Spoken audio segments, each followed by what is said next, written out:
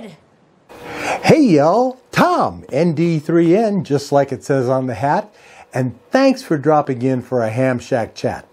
This time we're going to explore how to make Log4OM, WSJTX, and Grid Tracker work together. In the first part of this video, we will look at how to bring your Log4OM database of QSOs up to date by importing from another logbook into Log4OM. Then we'll connect WSJTX to Log4OM directly and finally we'll integrate Grid Tracker into the whole system. In the video description, you'll find the chapters listed for each of these sections. So if you need to review or just jump to a particular section, you can just click on the timestamp and the video will jump ahead. If you have any questions, suggestions, corrections, or just general remarks, you can leave them down in the comments. Tell me about it. This is my HRD logbook, and I have been using it for a long, long time. Uh, I've got 34,624 QSOs in there. I don't want to throw all of them away, and at some point in time, I will go ahead and export them all. But for now, for brevity's sake, I'm coming back here to April 27th, 2019. I moved to Ohio in 2019 by the time I got my station set up and an antenna in the air and all of that sort of stuff. It was April, so I'm going to start by selecting all of these QSOs and I'm going to go to my logbook, File, Export, ADI. Now I have a choice between going with selected, which will give me just those ones that I just selected. I'm just going to do the selected ones. So now I'm going to go here and you see that I have a desktop file that is ham radio, Log4OM2, and ADIFs. I'm going to name that file HRD logbook export. And I'm going to save them. And I'm going to export them.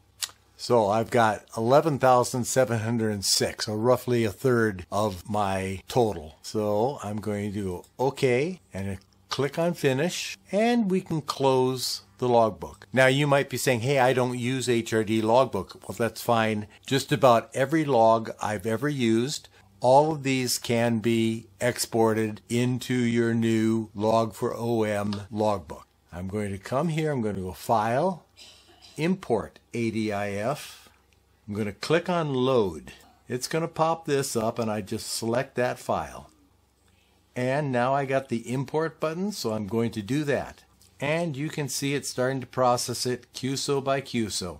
In a second, you're going to see a flash because I don't want to sit here and wait for all of this processing to happen, which is kind of boring. You know, it's going to happen, right? So you're going to see a flash, and when we come back on the other side of that flash, we will have the complete log updated, and I'll show you that. So just for your information, the time of the flash was actually about 30 minutes. So you can see it takes a little while. First off, it imported every call sign. After it incorporated all the call signs, it went through and compared to its awards list and flagged each of these for certain awards.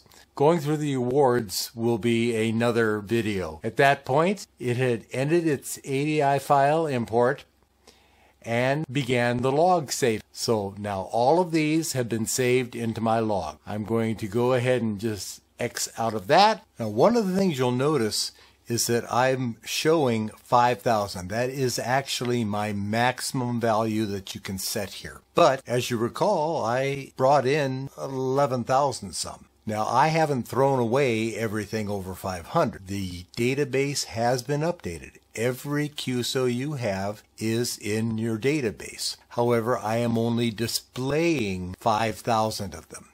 If you want to display less, for example, say I wanted to only display the last 100, I would set that and I'd come up here to my settings, go down to program configuration and select program settings and change this to 100 Then, after I get these two numbers in agreement, I would click on Save and Apply. It would reset, and you see I only have 100. If you want to see all of your QSOs, all 11,000 of them, I would set this to zero. Back up to our settings, program configuration, program settings, zero, and there we are back on April 27th, 2019. So these are all of the QSOs that I entered being displayed. For my use, I would like to set about the last 500. Set that to 500 and I really don't need to go beyond that. Actually 500 might even be a little much. Seems like a little bit of overkill to me. And up here to program configuration, program settings, 500, save and apply. And there we are. My last 500 QSOs are displayed. My database includes every QSO that I imported. So that's how we export and import our QSO information in the form of ADI files from our current electronic logbooks to Log4OM. Again, while I have been using HRD logbook for a long time, you can apply the same principles from any logbook that allows you to export ADI files. And by the way, I've never come across a logbook that doesn't let you do that. If you're enjoying this video so far, please take a moment to pop that thumbs up icon and give me a like. I quite like that. I quite like that. Now we're going to show you how to directly put your logged QSOs from WSJTX and in this case FT8 onto Log4OM.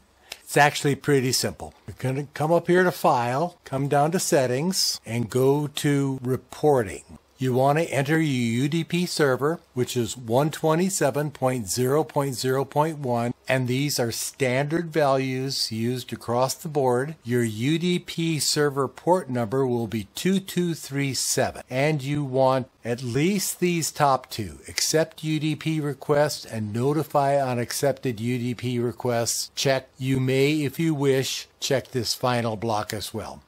Then I'm going to bring up my Log4OM Come to Settings, Program Configuration. Under Software Integrations, I'm going to select Connections. Then under UDP Inbound, we're going to click the plus sign.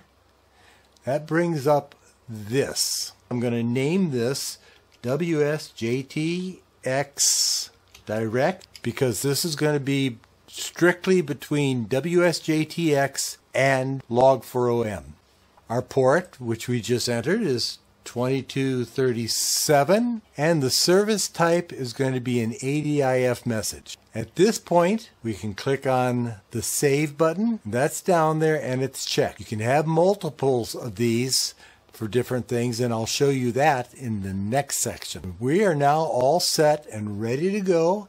I'm going to click on save and apply, shrink this down and go back to my WSJTX. I'm going to make a QSO and I'll go ahead and zap this and the QSO's over. And I've got my pop-up block here to log this. So I'm going to click OK to log this. Now we'll pop up our logbook again and you can see I now have N4 FUR in the log. Now that we have WSJTX and Log4OM working together, we're going to take a look at integrating Grid Tracker into the operating schema. Whenever I make a video, I do a lot of research, and this video is no exception. I reviewed the user manual for Log4OM, and I watched a few, probably six, videos done by others on this subject. Another thing that I do before recording a video is to check my facts and make sure that what I'm saying actually works. In my research, I found the user manual to be of some help, but pretty minimal. And most of the videos that I watched were either out of date or just didn't give me a usable result. What happened? It didn't work. It didn't work.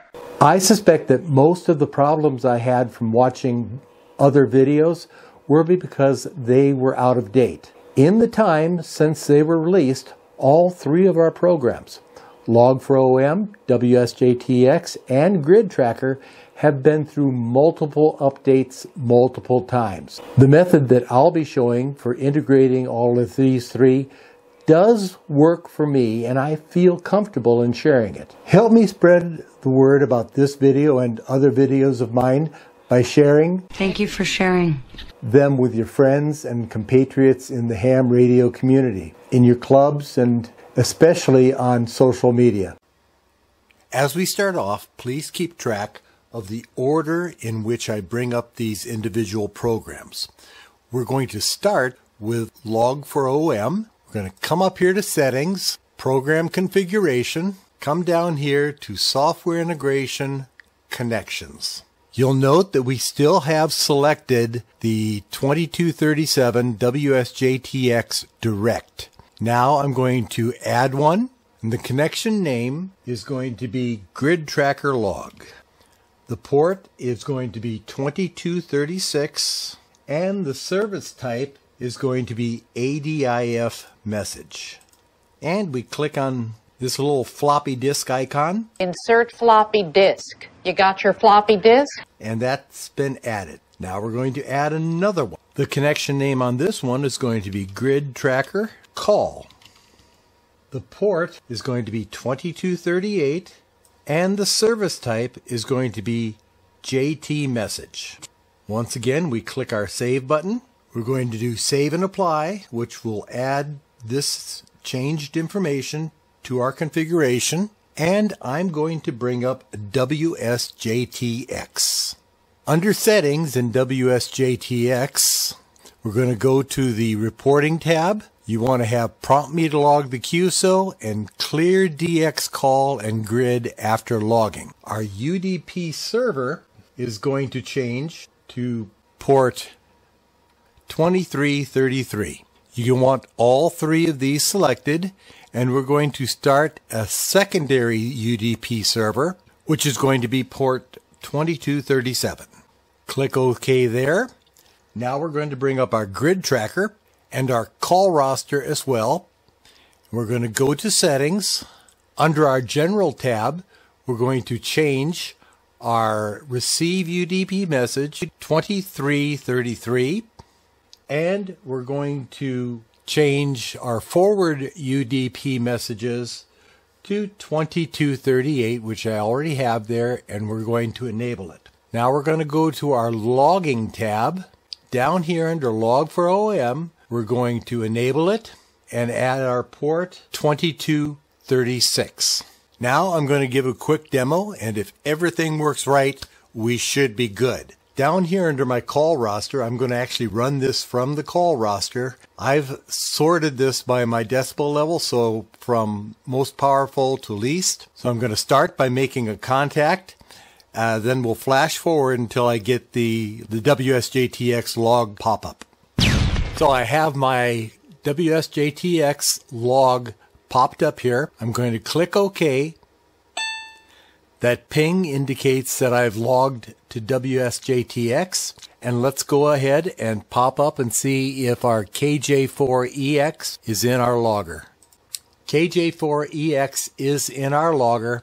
And so that's a successful demonstration. That ends this video. I hope you've enjoyed it as much as I enjoyed putting it all together for you. Future videos will continue to explore the many features of Log4OM, so be on the lookout for them. 73 until the next Hey Y'all. As always, I'm at your service. This has been a Ham Shack Chat. I'm Tom, ND3N, and I am out. That's all there is.